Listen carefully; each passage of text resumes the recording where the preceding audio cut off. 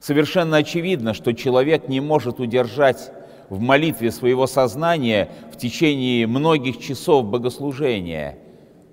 В Великом посту утренние богослужения длятся почти 4 часа, а иногда и более. Но как же за это время можно удержать мысль на одном?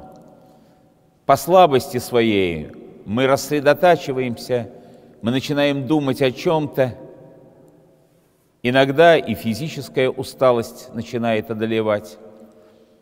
Появляется у некоторых и чувство беспокойства, и возникает вопрос, а нужно ли дальше стоять в храме, может быть, лучше уйти?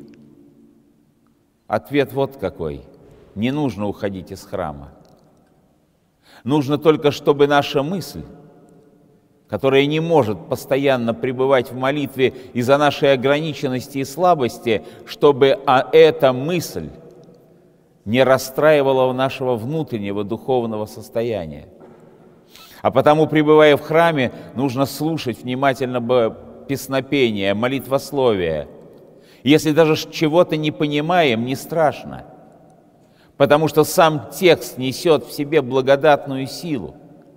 И прислушиваясь к этим текстам, слушая прекрасную церковную музыку, отвечая сердцем на понятные в богослужении слова, которые произносит диакон или священник, мы настраиваем себя, своего внутреннего человека, на ту самую волну, на которой благодать Божия действует на человека.